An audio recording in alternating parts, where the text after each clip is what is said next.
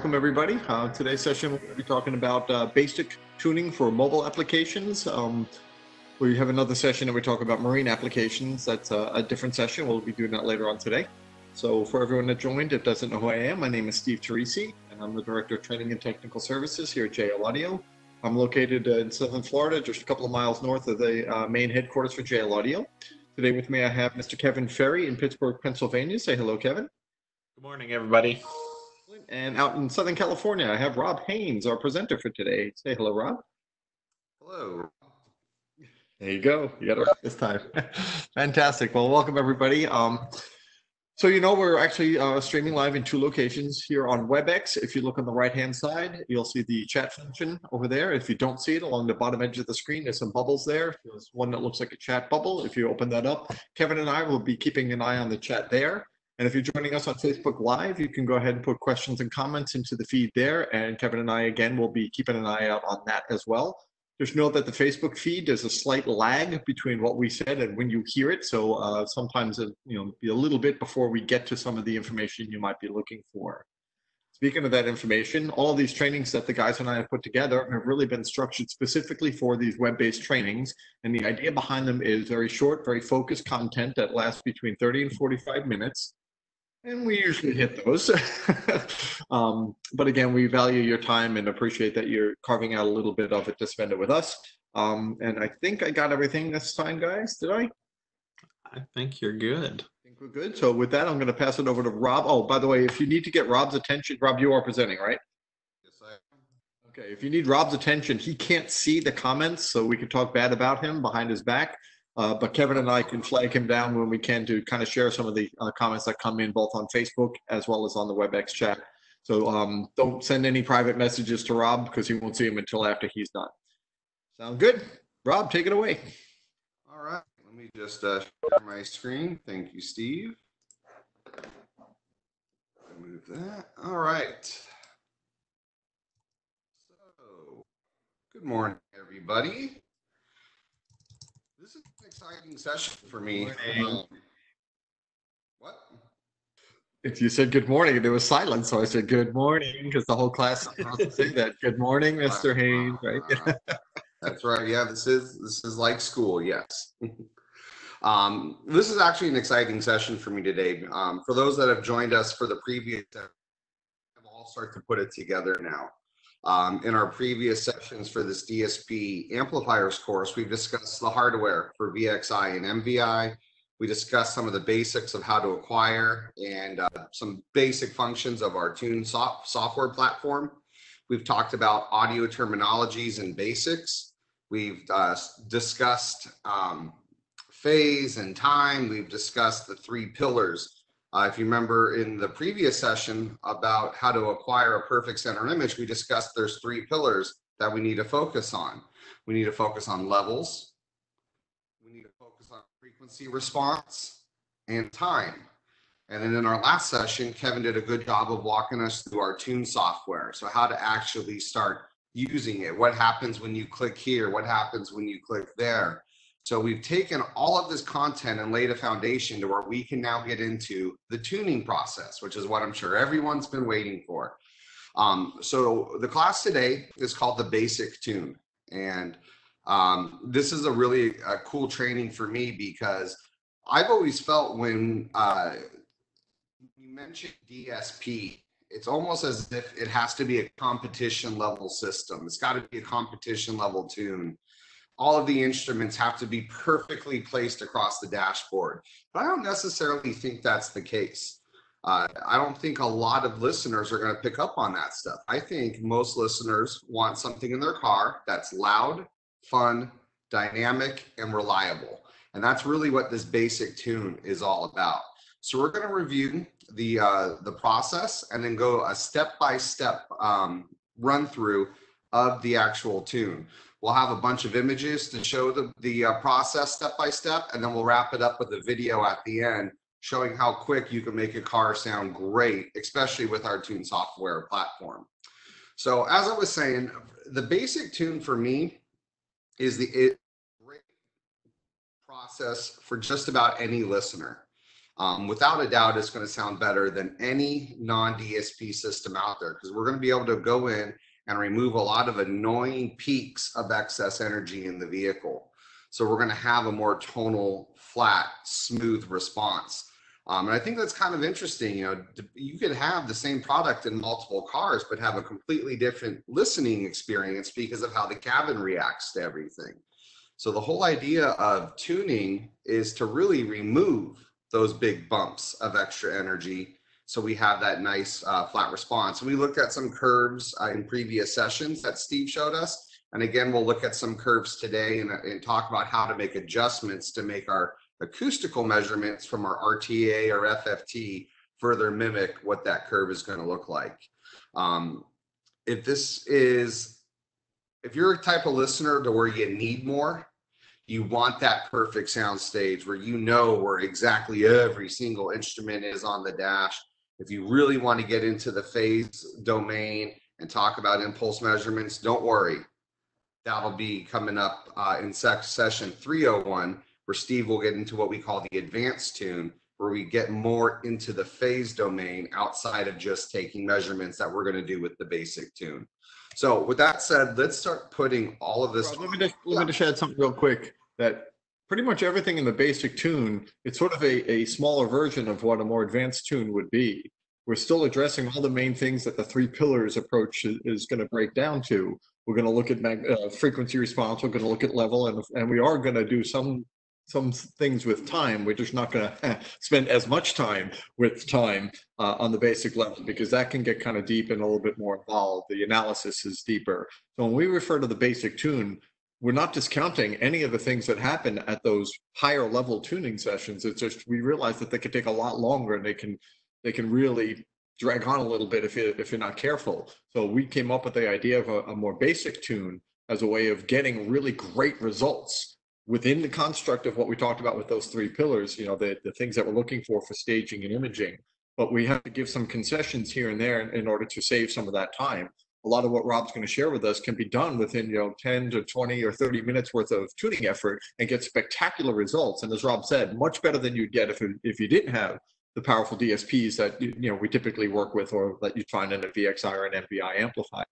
So you're taking advantage of it and getting a ton of performance out of it.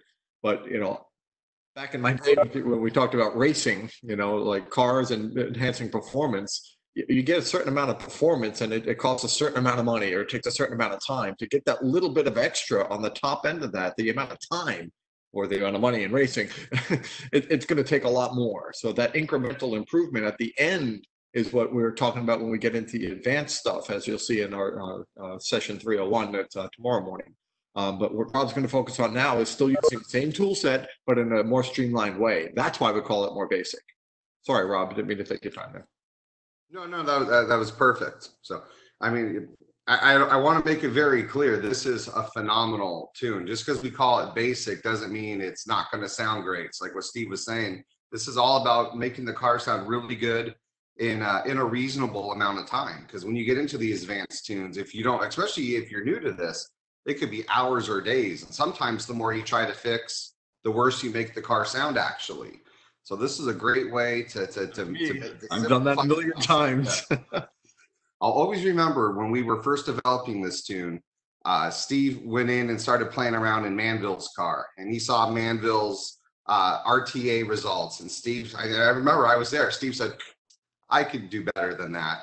And while his curve looked nicer, the acoustical response were not as nice. So sometimes you don't want to fix all of these little extra details because especially in a car where there's reflective surfaces, road noise, we're probably not going to hear a lot of that minute stuff we're trying to fix uh, when the vehicle's in motion. So, with all of that said, further on that, hold on one sec. Sorry. my goodness, man. Rob, Rob said something that I know he's going to hit later, but with the, the story about Manville's car, absolutely true, every word of it. I thought I could outdo him, and although like my curve might have been better, it just didn't sound as good. And you know how we know? Because we actually listened to it and that is the most important part of tuning is not matching curves or looking at phase traces or doing any measurements or any of that stuff is you got to make sure it sounds good when you're done. And the only way to do that is by listening to it. So yes the curve is a good starting point but once you get in you make your changes and you go from there. And now i'm going to be quiet for at least a minute. Well, I, I figure by switching slides to the steps, that would allow me to transition into it, so. All right, so the steps to the basic tune. Uh, the first thing we're gonna do is configure our uh, amplifiers or our TwK DSP using TüN software. Again, um, this is where you really should take advantage of that setup tool.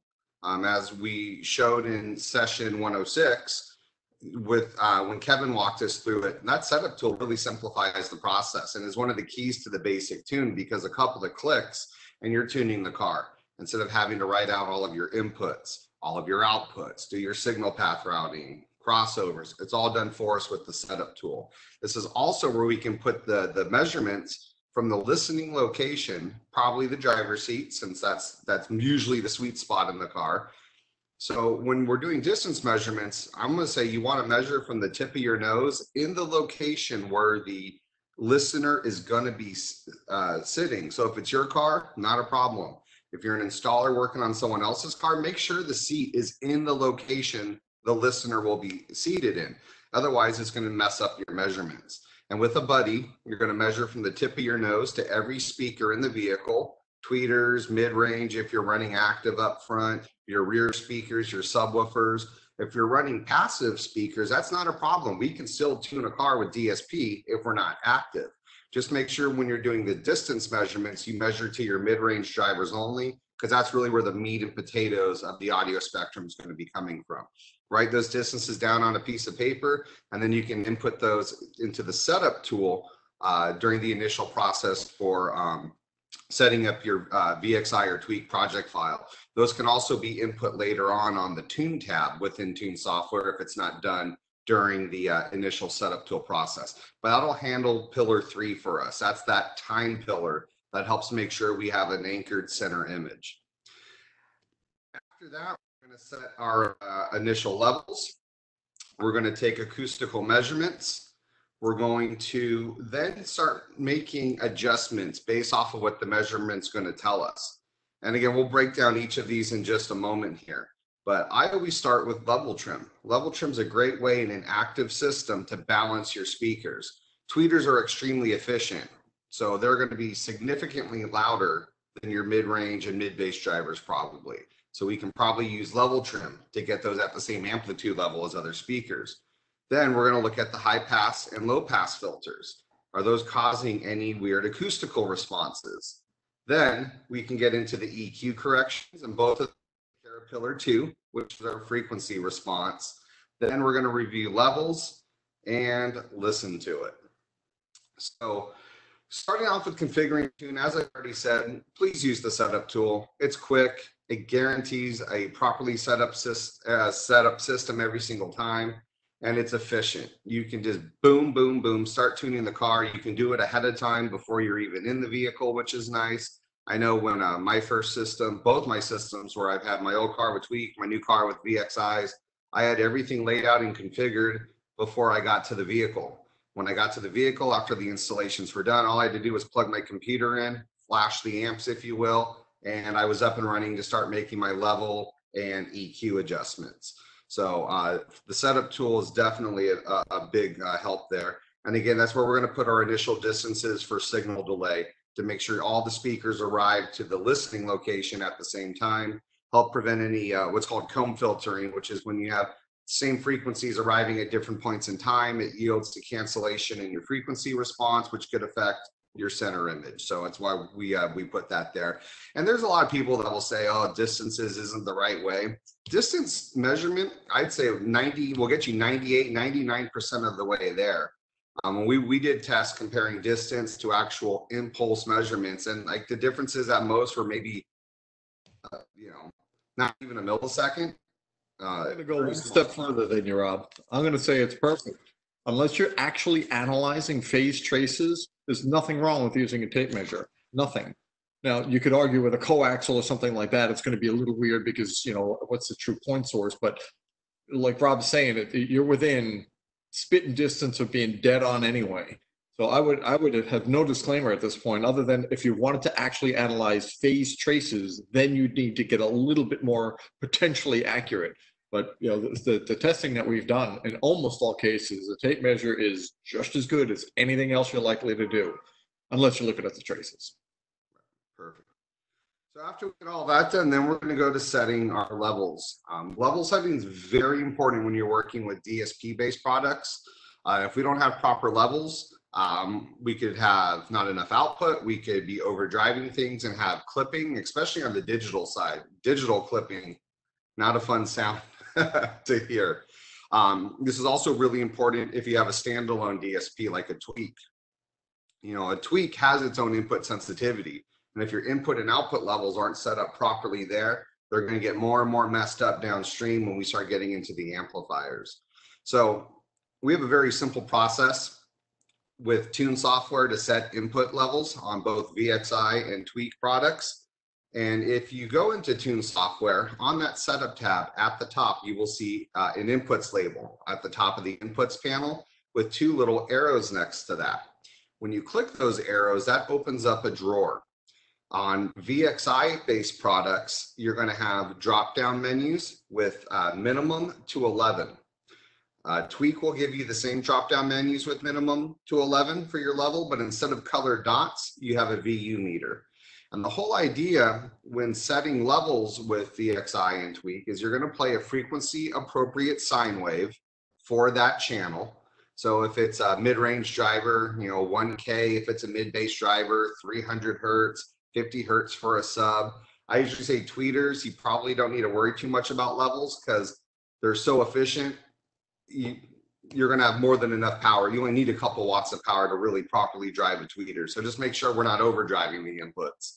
But we're going to essentially pick uh, the highest number value in that drop down menu that yields solid yellow dots. If we have green, that means signal's good, but we need a little more sensitivity for the amplifier to safely hit its max output.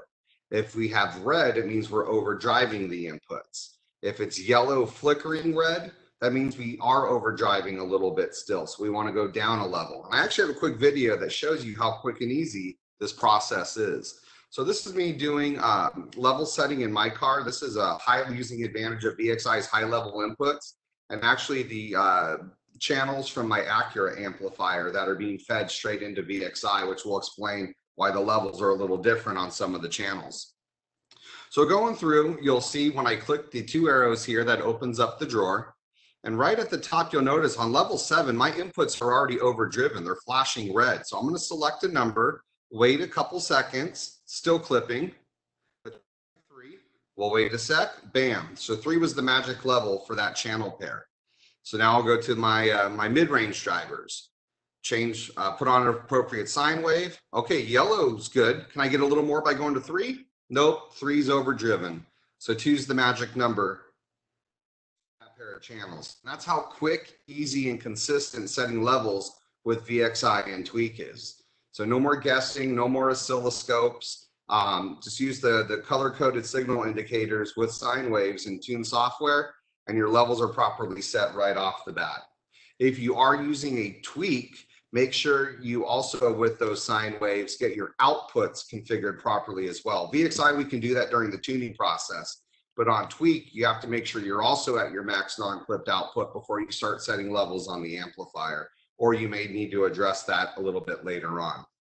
So once we get our levels set, we can start taking um, acoustical measurements. So we're going to play pink noise through different um, quadrants of the card, if you will.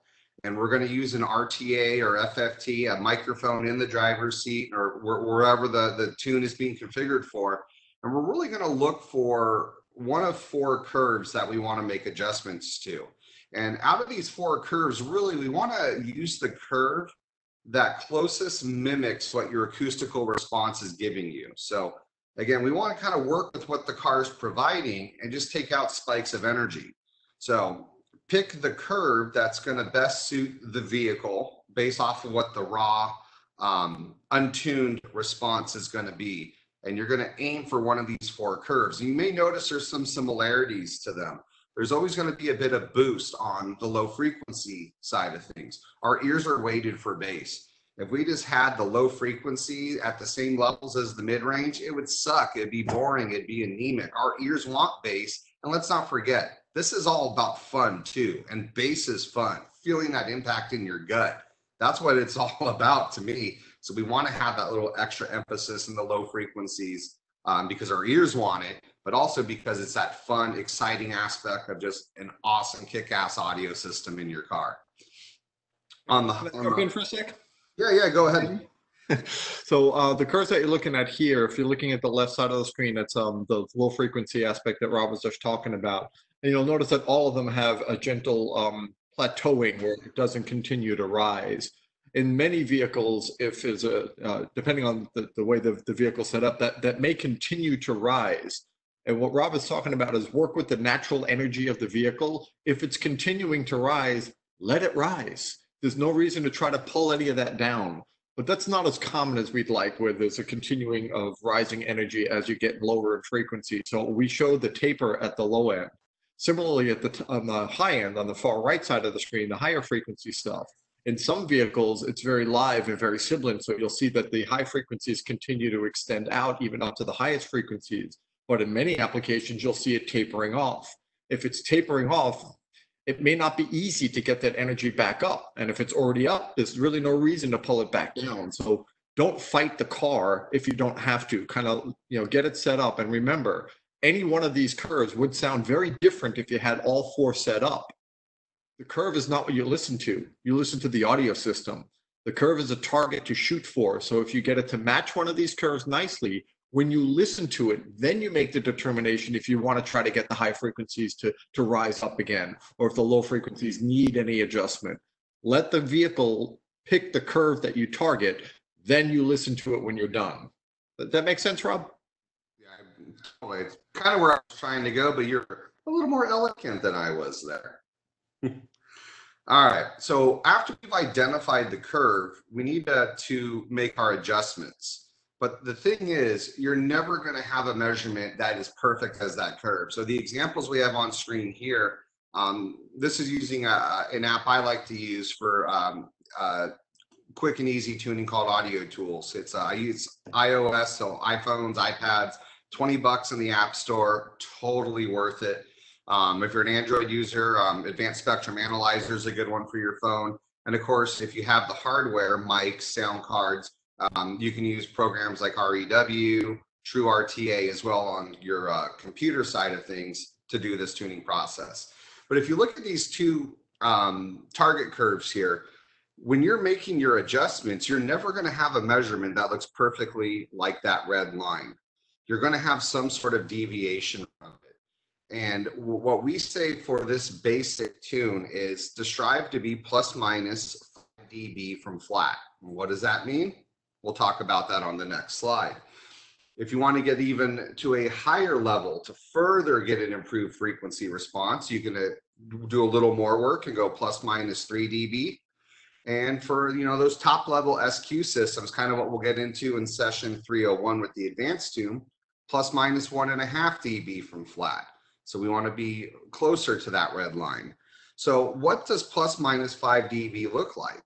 Well, it looks something like this that blue line you see under the red line is my actual acoustical measurement. So that's the microphone in the driver's seat listening to one passband of speakers. One of the things with the basic tune, we're not going to tune every speaker individually. We're actually going to do, um, the, I like to call it the, the quadrants of the car. So the right front all together. So if it was an active three-way system, you would have your tweeter, mid-range, and mid-bass all playing at the same time, and that's it, nothing else. No left front, no rears, no subs. You're only going to analyze that one corner of the car. In the advanced system, that's where you'll start getting into specific driver curves. We're going to look at a passband curve, if you will, for the full range or you know wide range, whatever you want to call it, for for the front of the vehicle in a specific corner. And if you look at that blue line, it's no more than 5 dB from flat. But that also brings up a question. How do you know what flat is? How did I know 60 dB is flat? Because I didn't have that red line there when I took that measurement. So an easy way to determine flat is look at your lowest response. So on that measurement, on the bottom, left to right is low frequency to high frequency and top bottom to top is amplitude. How loud is it? You'll see on the right side, we have 50 decibels, 60 decibels, 70 decibels, and in between we have the fives, 55, 65, etc. So looking at that measurement, if my lowest point is around 55 dB and I want to be plus minus 5 dB from flat, that tells me if my low is 55, 60 is flat, 65 is my peak. So if I'm anywhere between 55 and 65 decibels in the mid-range high frequency section, I'm good. When you have a measurement that looks like this, stop. This is where you get into the weeds and spend way more time than you need to trying to fix the car because we try to make it perfect. We try to make it match that red line. And you also got to remember Time for the banana joke. Say what? Say what? Is this a good time for the banana joke? Sure. Is it ever a good time for the banana joke? No, it's not. And I, I admit fully that I stole this from Ken Ward. He may have stole it from someone else, but I'll give him the credit. You know, when what Rob is saying, if you get it to this point, just stop. And the joke is that I know how to spell banana, I just don't know when to stop because it just seems to keep on going. And if you wanted to, yeah, sure, there's a couple of things about this curve that I could probably make better, but it's probably going to take me a couple of more hours. And is it worth it? I don't know. Why don't we listen to it and then determine if we need to make any changes? So you get it to look like this on your screen. Stop. Just stop and listen to it. Enjoy it for a little bit and see if it needs any more adjustment. And if it does, go back. You also got to remember this is one passband only. When you combine left and right together and acoustics and phase kick in, you'll actually probably see some corrections and that window of deviation will shrink as you may see a little bit later on when we do the video of this live process. But don't try to make it perfect. You know, this is what you want to achieve. This is going to yield fantastic results because we're taking out all those spikes. Again, I'd rather have a, a, a DSP based system with lower end speakers than high end speakers without DSP. Because I'm taking out all the annoying acoustical boosts that the cabin is causing, yielding a smoother, more tonally balanced response. It may not be as loud, but that's what levels are at the end are for. So we're always going to start i always recommend when you do your analysis taking your acoustical measurements making your adjustments always start with the passenger side first if you're tuning for the driver's seat of course. The reason we want to start with the passenger is it's the furthest pair of speakers away. You know as as uh, distance doubles we lose you know a couple db of output. So i'm an, i'm never a fan of boosting because if we don't do boosting right we can get into trouble. I'm not saying don't ever boost but I like cuts. So if we start with the passenger side, that means we can lower the closer driver side speakers to match the amplitude level of the right side. Because remember, one of the pillars is levels, right? We need equal levels to help with that center image. We're closer to those driver speakers, left side speakers in the driver's seat. So naturally, they're going to be louder. So by starting with the right side, it allows us to attenuate the left side to match instead of having to heavily boost the passenger side to get to the level that the driver side is at. So I always go passenger side first, then the driver side. You are then going to combine left and right together to make sure there's no weirdness. After we uh, take make our corrections and measurements, if you have rear speakers, again, you'll start with one side of the rear, then the other side of the rear, combine those to make sure there's no weirdness, combine them with the front to make sure there's no issues. When I talk about issues, usually polarity related issues that are causing instant suckouts in your frequency response. Then we're going to add the subwoofer and make those adjustments.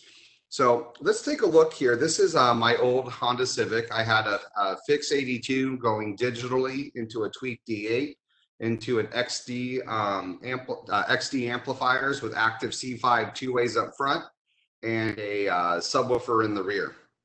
So, Rob? yes, Steve. Sorry to jump in on you there. I got a really good question that came through. Is it possible that we could share information on, like, if you're using audio tools, on how to get a red line to show up so that we could tune to that target? I know we can't do it here today, but is it is that something we could guide people on later? And I wanted to interrupt you because I think more than one person is going to wonder about that too. So figure I'd address it. Yeah, so that's actually a good point. There is a way to do that. Maybe we can do a help center article on that. Um, these images here, that red line was actually all done in Photoshop after I took measurements. So you'll see in the video coming up when I make do the live tuning, there is no red line. You'll see how you you'll see in the video coming up how to analyze where your low point is and how to make your adjustments to that. The the red line now is all Photoshop to make the presentation nice and you can see what's going on. Um, so uh, it's it's not going to be there. You don't always need it, but it is nice to have, and there are ways to input that. I think using a text file or something like that on the phone. Um, you can also if it is in audio tools, yes, you can. It's a string of digits that you upload in, and it'll put the curve on there and as an overlay. It may be a, a pay to play kind of thing, but we can cover that separately offline. So that's Yeah, it is. It's a it's an upcharge for audio tools. REW, it's free to put it in, and it's fairly simple.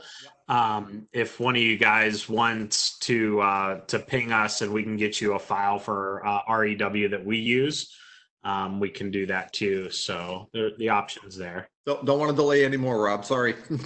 No, no, that was a fantastic question because all of these images have it, so I can.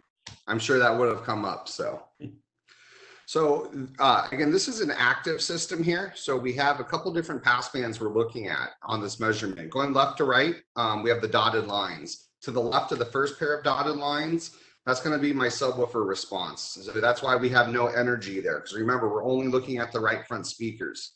In the middle, we have our mid range big chunk of energy in our uh, C5 six and a half, and then we have a high pass filter at 5K, which is for our tweeter. So this is a raw measurement of my vehicle, and if this was a passive system, it it would look the same, except we wouldn't have that separate filter for the uh, high frequencies where we could do the level adjustment we're going to talk about right now. So let's take a look here. We have three pass bands, and we're going to really look at adjusting uh, in this measurement the mid range and the high frequencies. So we're going to start right there. And you'll notice on the high frequency side of things, there is a big boost. There's a big chunk of energy above uh, where I want my flat measurement to be. So again, looking at the measurement, if my low point's around 55, that tells me I want to be around 60. But I know on my car, the way the reflective surfaces work, my tweeters were a little aggressive. So that's why I went for a curve that kind of had a little bit more of a tail off on the high on the top end to obtain uh, the reflectiveness I was getting because of the plastic panels and all of that stuff. So instead of using EQ to bring that down, this is where the benefit of going active really is because I essentially have a volume control for that specific channel with level trim. So by lowering the level trim for that specific channel, I'm actually able to bring that high frequency channel down into that plus minus 5 dB from flat range I want to be.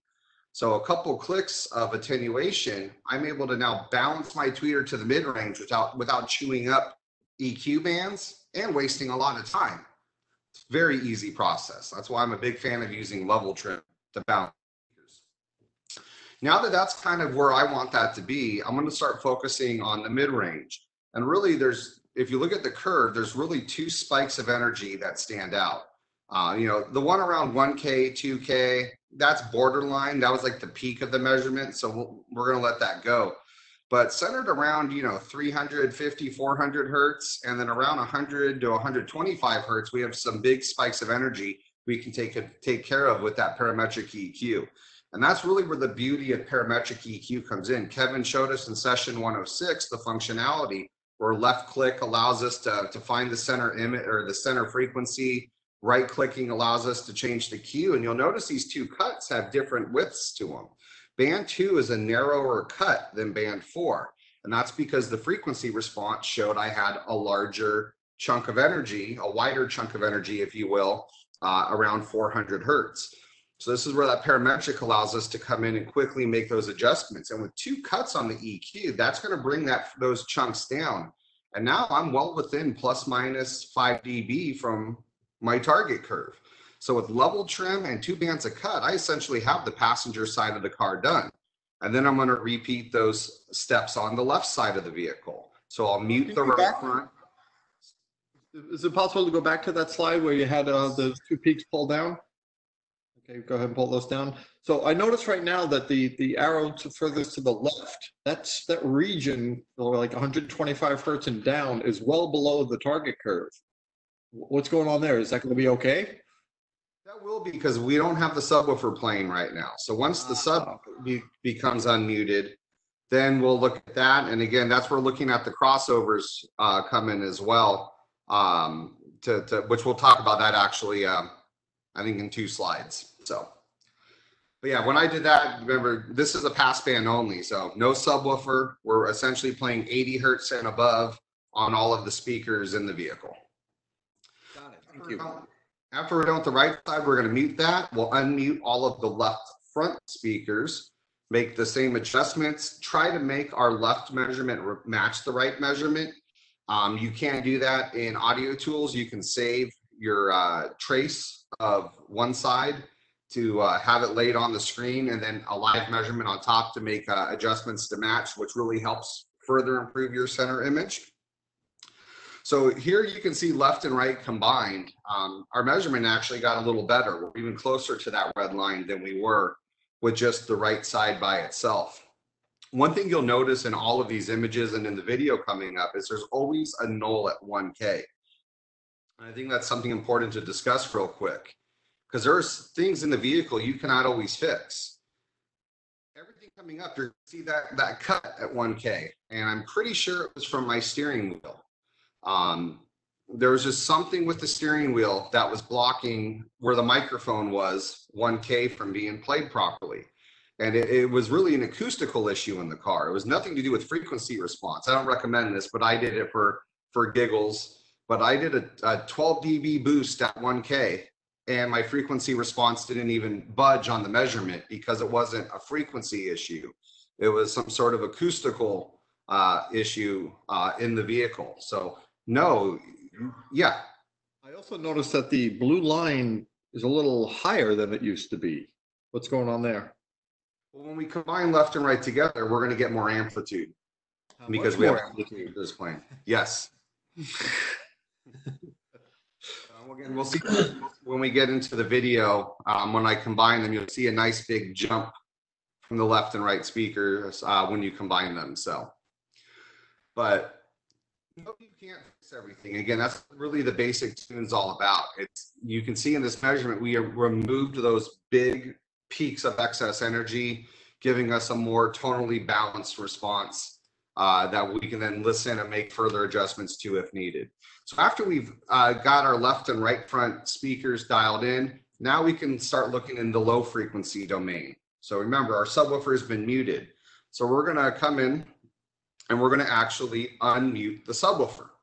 And it is literally off the charts, way above uh, the, the, the, the, the target curve, if you will. So we're going to want that. I usually say with bass around 15, depending how big of a bass head you are, 15 to 20 dB above the mid range.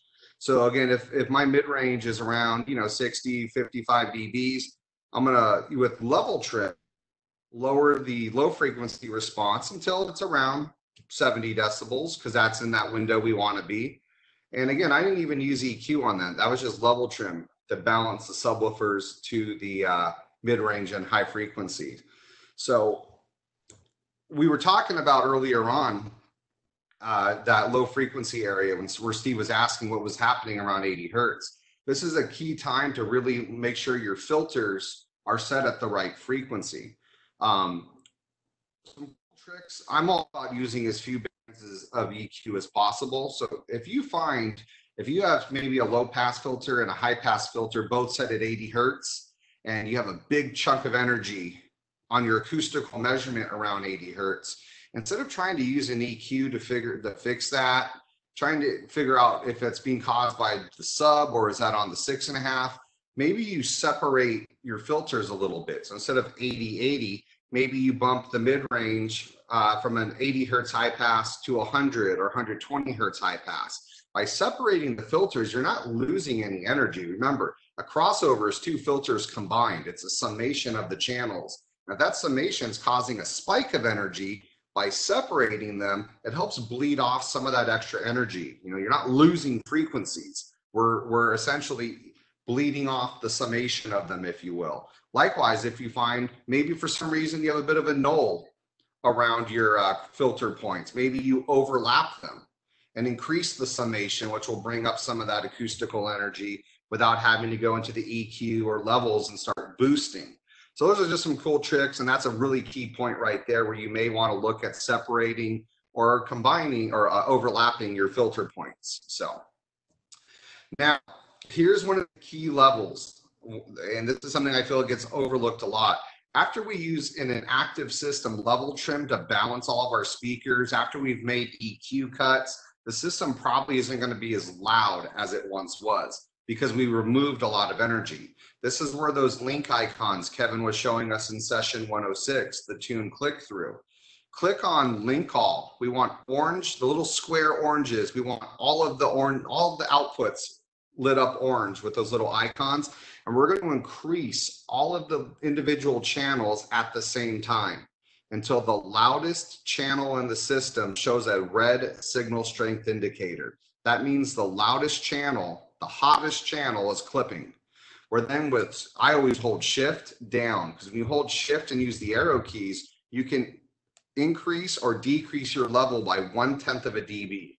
And I'm going to hit shift down and start lowering by a tenth of a dB until that loudest channel, we're going to lower all channels together again, but I'm going to lower until that loudest channel goes from red to yellow.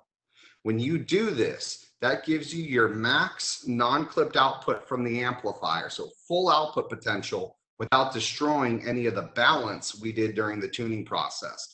I see often we go in and we make all of our level changes so everything has that center image but we don't link everything and then further boost. Remember, we have indicators on the amplifier that tell you when you're clipping.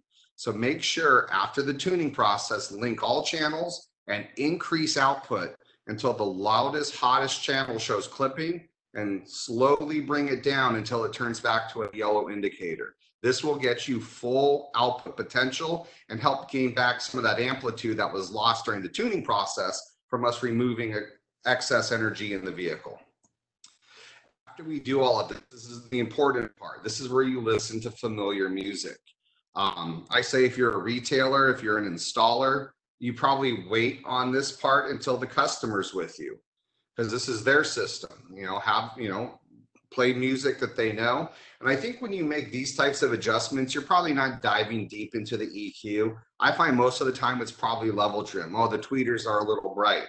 Use level trim to knock them down a dB or two or you know sometimes if the mid-range sounds a little wonky you know usually uh, you know if you need to make some small cuts or again i usually find sometimes it's just a level change to help bring that in. But you're just going to make some small minor adjustments you know salt and pepper if you will um, based on what your listening preferences are. Maybe they like the tweeters sizzling so you crank them up a couple more db. Just make sure you're not clipping the outputs and you'll be so this process, as you can see, this was the finished result of, of this system, two-way front stage active and subwoofers. And it was four bands of cut combined on the left and right mid-range, level trim adjustments on the tweeters and the subwoofers, and that was it.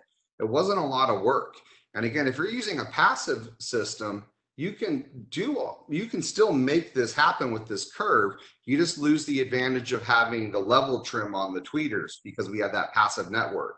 So you should still strive to have your your your system measure like this but we're going to have to use more eq to help um, tame the tweeters since we don't have the level trim option. So this can still be done with passive just not as flexible as if we go active so now that I kind of covered the steps, I have a quick video to show you how actual quick and simple this process is.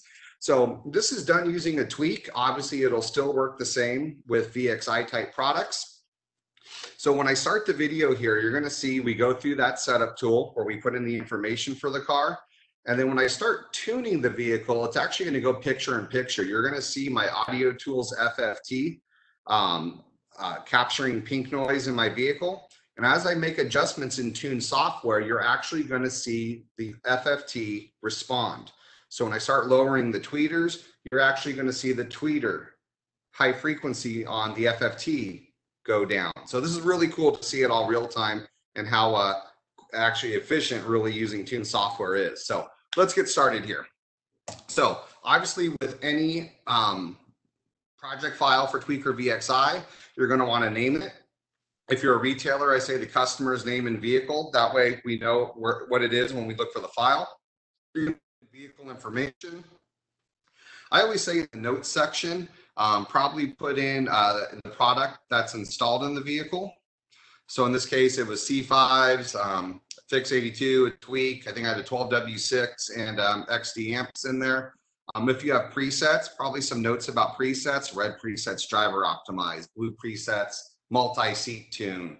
Um, that way, if someone else gets in the vehicle, they know what the presets are, they know what the equipment is. So we click next. Now here's that cool setup tool. You'll notice on the input side, I had to FiX 82 with the Toslink input. So I select optical two channel SPDIF.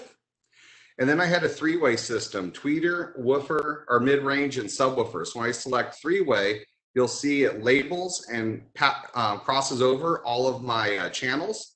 This is where I can put in the speaker distances I had already written down from the tip of my nose to every speaker in the vehicle. I click OK and I'm already tuning the car. That's how quick and easy this setup tool is. So now we'll see here. I have my uh, software. I have my FFT in the top corner. And when I unmute everything, you're going to want to make sure your EQs are unlinked. I always like to use the highest resolution screen. And you'll notice now when I turn up the volume, comes alive, picking up the pink noise. So looking at that measurement, if I my lowest point's around 45 dB, I want 50 to be flat. So I'm going to come in, I'm going to start attenuating the left tweeter here and bring that down using level trim in that bottom right corner until the tweeter's at 50 decibels because that's what flat is because my low point's 45 plus minus five, right? Now here's where the EQ comes. I'm going to cut and see how I move the center frequency around until that spike the, the center there gets done, and then I right click, make that a little wider to bleed off some of that energy. 50 dB, perfect. Again, band two. I'm just going to cut and slowly move around and massage band two until the measurement looks the way I want, which is uh, about right here. I think I'm moving around a little more. And there you go. Other than that stupid null I'm stuck with, I'm plus minus 5 dB from 50. Is it perfect? No, but it doesn't have to be. So now I'm going to mute I come in and I unmute the opposite side of the car. Again, if my left tweeters were at 50, I'm going to start attenuating this pair of tweeters until I'm at 50 decibels. And once the tweeter comes down to 50 dB, you'll notice other than around 100 hertz, I'm pretty much plus minus 5 dB. So I go to EQ2 because I want to adjust my other side.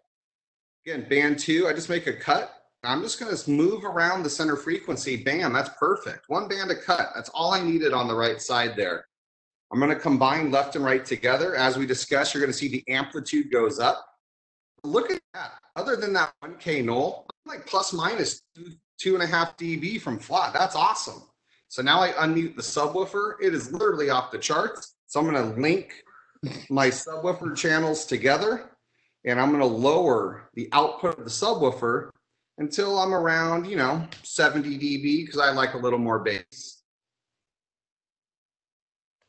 And that's it. And if you want to make adjustments, you get in here, you know, 100 hertz, that kind of, you can see how that bled off some of the energy uh, right there, just to show you what happens there with that measurement. But that was it. I mean, you know, it's only a couple of minutes to take out a lot of obnoxious peaks of energy in the car. And it sounds pretty good. Now, when I went in, I made a couple level changes to the tweeters after the fact. Um, this was without a doubt a phenomenal sounding system, and it didn't take a lot of work. Don't so just because, huh? I didn't want you to change the slide. I noticed on the response curve that there was a couple other areas that we could massage if we wanted to. Back to the banana joke. And since we only really used at most two bands of EQ, you still have eight other bands if you wanted to go after those things. Uh, and that's what's really cool about it. Once you get to that point, like Rob just showed us, you're really done. Um, and then beyond that, it's just that fine tuning and that last bit uh, you can spend a lot of time on if you want, or maybe it's nice and quick. But I, I personally like to get to the listening part as quickly as I can. So dial it in real close, you know, plus or minus five dB to that target curve. Don't worry about anything after you get into that that that window. Then just jump in and start listening to stuff. And Rob mentioned listening to, to some familiar music.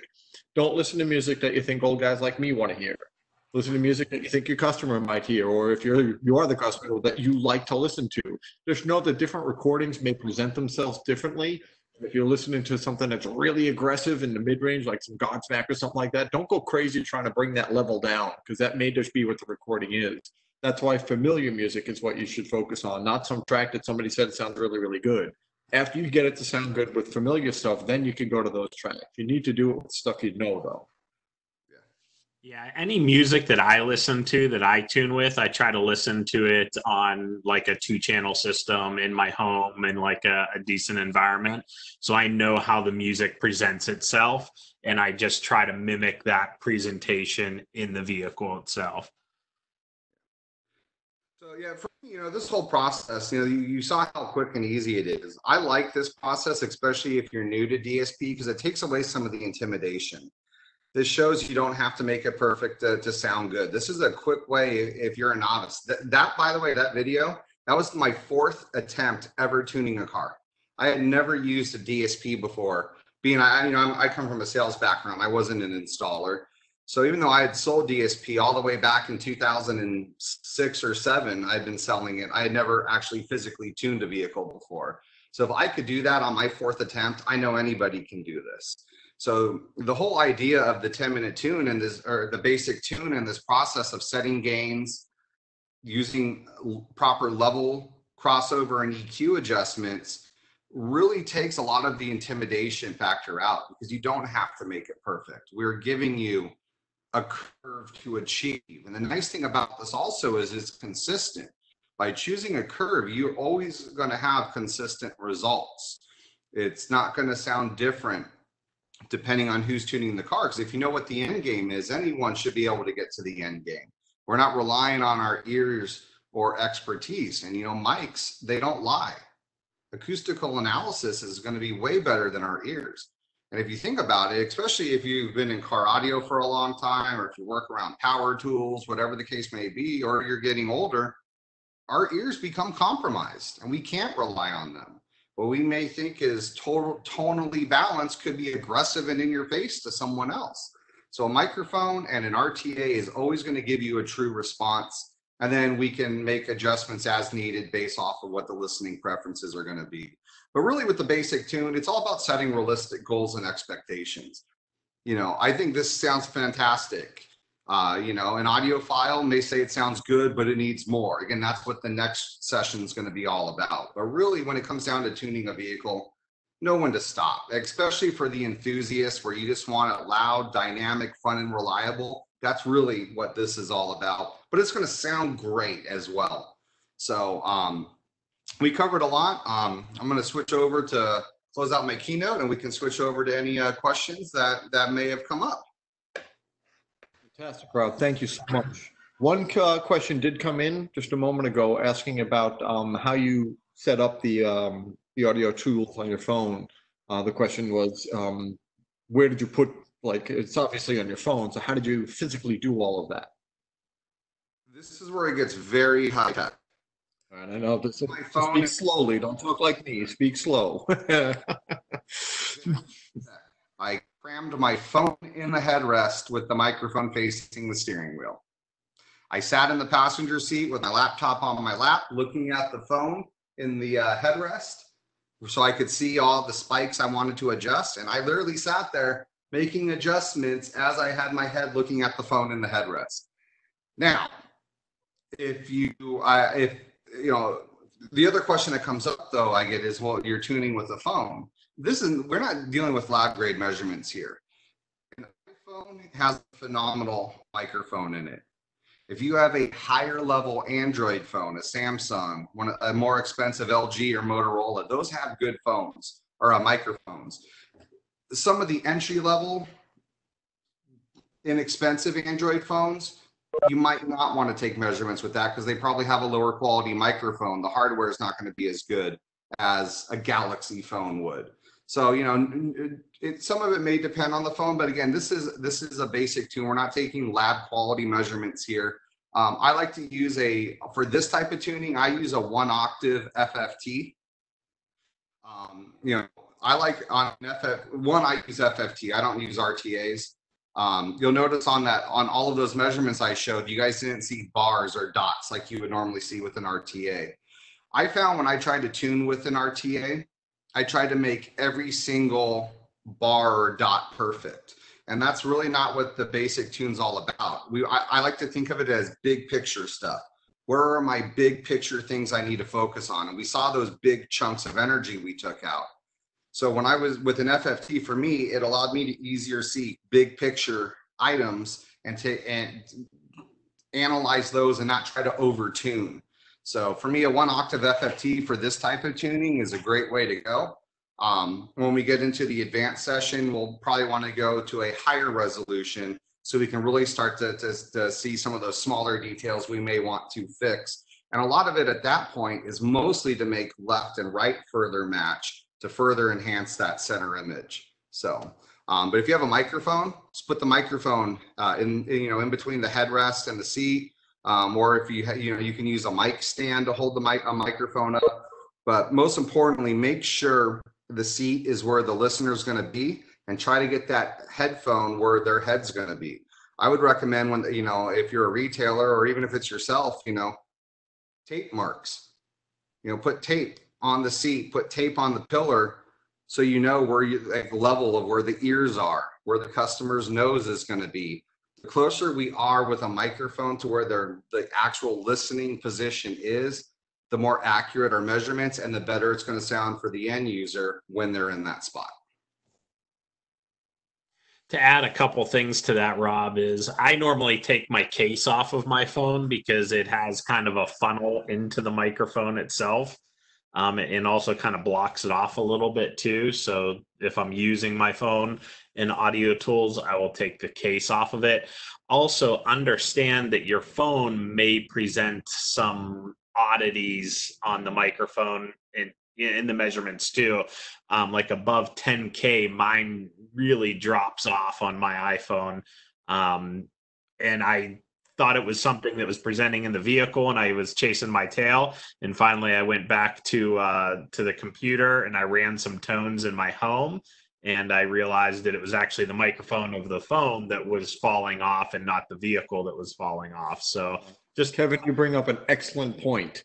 If you guys are doing tuning and on the meter or the analysis system that you're using, if if you if you're making changes and you don't see it show up on the meter, something's wrong with your measurement tool. Trust your ears, because if you're sitting in the car, I was going to make a joke, Kevin, that maybe your reference system is also rolling off at 10k. Could be. Um, but it made me remember that you know sometimes I've been in, in situations where we're so focused on looking at the display that we're making all these changes and the display's not changing. It's like, well, what's wrong? the mic was disconnected.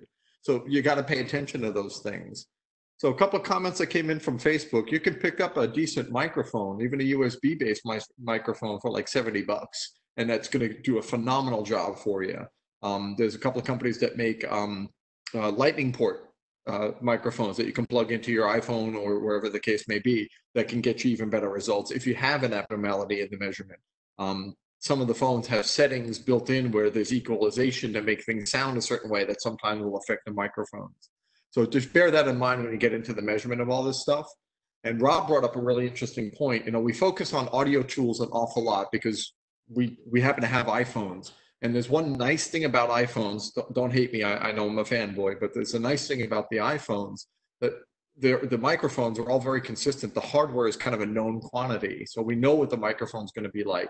When I say we, as an industry, we all know. So Audio Tools is written on you know on that platform because it knows the reference mic. It knows what to expect from that microphone. And as Rob pointed out, the Android platform is bunch of different hardware companies that are making devices that will use that operating system. So creating an app that knows what the microphone is is very, very challenging. So that's why it's not as easy to find a good measurements uh, um, app for the Android platform because of the differences in microphones. So just know about those differences when you get into this. Uh, one of the other things I see that's going on a lot on Facebook is asking about getting your reference source into the uh, into the system. Um, I, Bluetooth is the last resort. The compressions that happen on Bluetooth may pose some weird oddities at the upper end and the lower end, um, just the way that the compression of the music works. Um, if you can put it on a USB thumb drive, that's great. Um, if you can uh, plug in directly with with any type of a USB device other than a, a thumb drive, then that would work too. Um, but thumb drive and CD are my go-to. And then, uh, like we said on there, if there's no auxiliary that you can't get into it, then you could possibly bypass the receiver and go directly into the amplifiers. I do that sometimes with timing. Um, you know, timing and, and phase related uh, content. However, if I am doing tuning, I try to always go through the receiver because there may be some weird EQing, whether it's uh, a factory or aftermarket, um, that may present itself on the backside that you don't see if you bypass that. That's what I love about like you know, a tuning process like this. You don't need extravagant hardware, just some sort of RTA, FFT, something where we can see just the acoustical analysis. That's all you need. And it doesn't have to be lab grade $500 microphones. So it's, uh, you know, just something, a phone most of the time is all you're going to need to, to get your system dialed in the right way. And we have these files available on our help center um, that you can go in and download and put them on a thumb drive and be able to use them that way. Um, so if finding the files is your problem to be able to put on a thumb drive um, or on some sort of USB device rather than just you know having them on you know whatever streaming source that you have. If you can't find the files, you can go to our uh, help center and be able to download those files free. Free. A couple of quick things I wanted to jump on. I saw some uh, comments uh, that came in. One, Adam in our WebEx area, he said that Rob made a good point, point regarding the dip that he had in the Civic at 1K when he tried to add the 12 dB boost to see what it did. And his comment was, if you make a change and it doesn't help, undo the change. Because if it's not helping it, you're just hurting things in some way. Um, and you know that's an excellent point that Adam brought up. Additionally, there's been some chatter on Facebook. Um, there was questions about audio tools, so I put a link on our Facebook page to the audio tools app for the iPhone. And uh, Jeffrey is pointing out that he does about 40 tunes a year for the shops that he uh, works on with, and uh, and individually, he's got a $70 mic and uh, Room EQ Wizard on his computer. So he bought a seventy dollar mic. He downloaded a free set of software, and he's he's doing this all day long. And the key point that he brought up: the rest is just learning how to tune. You know a method now. Practice will make perfect. Well, maybe not perfect, but practice is going to make it a lot easier for you to get really great results. So you know, Jeffrey's been you know chiming in on Facebook, and I think that's a really good point. A minimal investment in hardware and possibly software, depending on what you want to use, and then some investment in time you know the, the mechanisms and all that other stuff once you start working with it it becomes really easy the best thing to do is just get in there and start so if you're a consumer and you got an amplifier in your car and you got some of these basic tools just go in and mess around and something that i think is great um, and actually i've talked to a couple of people um, you know my friend mark mark eldridge and i we've talked about this in the past and he actually does something like this in some of the trainings he's done is learning how to identify frequencies by messing around with an eq so uh, Mark does this thing where you have two EQs that are wired up together so that you have two people, one with each EQ. And one guy takes an EQ slider or an EQ band and he makes an adjustment like a booster cut at let's just say 1K. And the other guy is listening to the speakers that are playing and has to identify what change was made and try to counteract it. So if let's say you know Kevin and I are doing this, if Kevin boosts 1K, I have to you know the right answer is to cut 1K. And it's a great way of training your hearing uh, what these different frequencies may sound like. So what I would do is if you're learning how to do this, make huge changes at moderate levels. make huge changes, you know, take a band and just boost it way up and listen to that and then cut it way down and listen to it and then kind of dial it back and forth until you make it sound the way you feel it needs to sound. That's tuning. And that comes from experience. And that's a great way of training your hearing to identify you know, if you're just listen to a track and says, you know, something just doesn't sound right. And I tried a level adjustment and that didn't do it. So it must be frequency specific. How do you find that frequency? Well, you can look at an RTA or an FFT. That's one way. But the best way, I think, is once you kind of dialed it in, figure out what's right. And by boosting the hell out of it and cutting the hell out of it, and then dialing it back and forth until you make it sound exactly the way you want. Use these for the final adjustment, not those microphones. Just use you know your built-in measurement system all day long. So excellent comments that came in there. Thank you for those guys. Another comment that came in uh, was about uh, the Phonic. Phonic makes a, a handheld uh, measurement device that has a built-in microphone, and it's really, really good. The prices I saw on it were a little high, but I'm being corrected. Maybe it's not that expensive. If you're doing this for a living, make the investment, right? Make the investment on something that's repeatable, that you're comfortable with, whatever you're comfortable with you know, personally, I like Jeffrey's idea. Let's grab a basic microphone and use REW or some other basic measurement system um, that's free because I like free. um, so whatever you got to do to make that work. Another comment, I understand we should finish listening to music. Um, the comment was about listening to music at full power to see if it's clipping. Um, some of the, the tips that Rob shared with us uh, tells us how to avoid clipping whenever we possibly can. Um, some amount of clipping in certain frequency areas is probably okay. Avoid it at high frequencies and mid-range frequencies. But in the deeper sub region, you can probably get away with a little bit extra, I call it love, a little extra love in a subwoofer if you really need it. Um, listening to music at full power can be very dangerous. Um, if you're dealing with a 400 watt system with a couple of speakers, that's one thing. But if you got a few thousand watts at a full on system like that, that could be dangerous. Listen to it at a level that makes you comfortable. Let's put it that way, whatever that level is.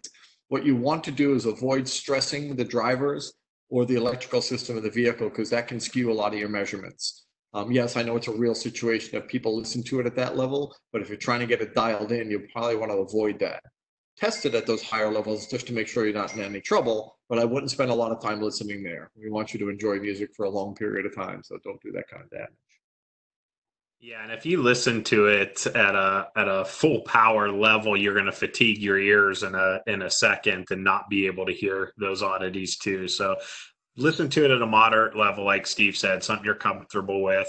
Listen for your oddities, make your adjustments and then if you want to turn it up um, after everything's dialed in, just to make a quick check, feel free to do that. But just be careful to not damage your hearing.